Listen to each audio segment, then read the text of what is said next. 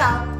Benvenuto in questo nuovo video post dedicato al controllo emotivo, ossia alla pretesa che la nostra parte razionale, quella calcolatrice, quella che tende ad organizzare il nostro mondo virtuale, eh, ha di, eh, sulla parte invece più emotiva. Quindi questa è, una pretesa vera e propria perché le due parti con cui noi eh, affrontiamo la vita e con cui noi ci confrontiamo giorno per giorno eh, devono assolutamente essere bilanciate e non devono prendere né una sull'altra il sopravvento, anche se questa divisione è puramente mentale, è una percezione virtuale della realtà, questa divisione in razionale ed emotivo. E per cui quando noi ci sentiamo divisi da questo punto di vista, percepiamo la realtà in maniera duale, in maniera divisa.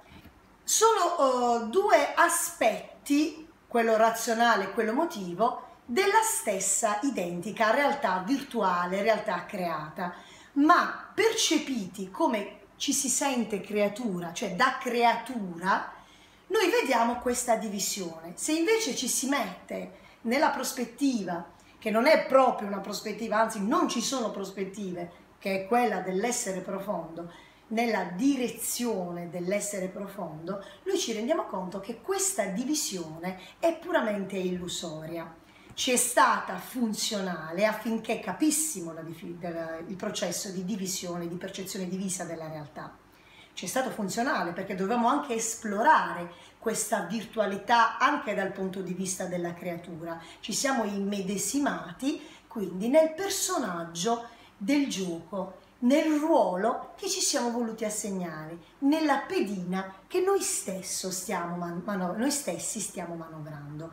A quel punto nella prospettiva della pedina, la pedina che vive di per sé una realtà divisa, perché si sente divisa dal suo creatore, dalla volontà, organizza il suo mondo in base alle regole del gioco e questo l'abbiamo visto diverse volte, in base ai ruoli quindi si gerarchizza eccetera eccetera. In questa realtà la parte nostra razionale dominante è, che praticamente gestisce questa virtualità tende ad avere il sopravvento su ciò che è la nostra parte incontrollabile. Solo che siccome questa divisione è fittizia, tutte le due parti sono legate a se stesse, cioè nel momento in cui faccio qualcosa provo un'emozione, nel momento in cui organizzo qualcosa, gestisco qualcosa, razionalizzo qualcosa, scatta comunque l'emozione.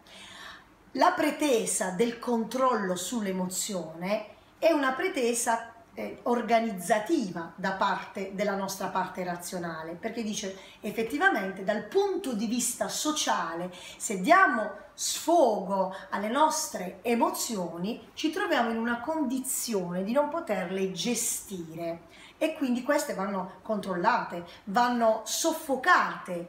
Tutto ciò che dell'emotività non riesce a fluire diventa la nostra ombra.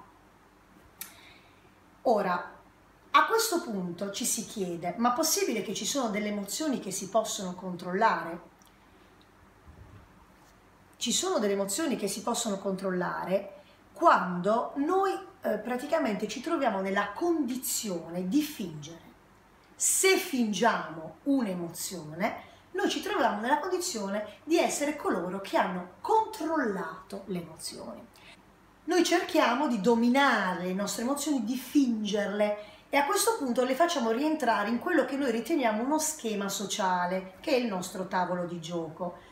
Ma che cosa succede? In questo modo non si attua il cosiddetto processo di individuazione, cioè la parte emotiva è una parte che ha necessità di fluire perché effettivamente l'emozione è una forma di energia creativa che ha necessità di essere direzionata, di essere veicolata e quindi che cosa succede? Che nel momento in cui la si reprime in qualche modo si andrà ad esprimere, magari somatizzandosi, magari con eh, malattie. Qual è la, il, il punto che io voglio sottolineare? Che in questa visione parcellizzata della realtà, in cui c'è la pretesa di controllare una parte sull'altra e magari poi quando fluisce prepotentemente la parte eh, emotiva inconscia, quella che abbiamo nascosto, quando riesce a fluire e diventa devastante perché quella parte non, eh, avendo subito tutta quella repressione ha accumulato energia creativa che diviene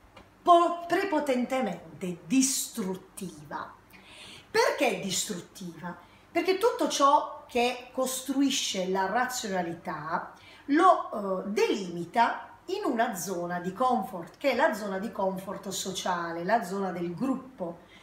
Quindi la razionalità rappresenta la, ehm, diciamo, l'organizzazione collettiva della nostra realtà mentre la parte emotiva rappresenta invece il modo di essere individuale.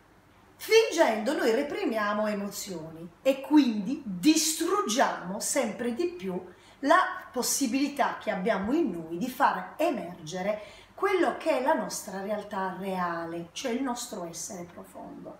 Ci vediamo al prossimo post. Ciao ciao!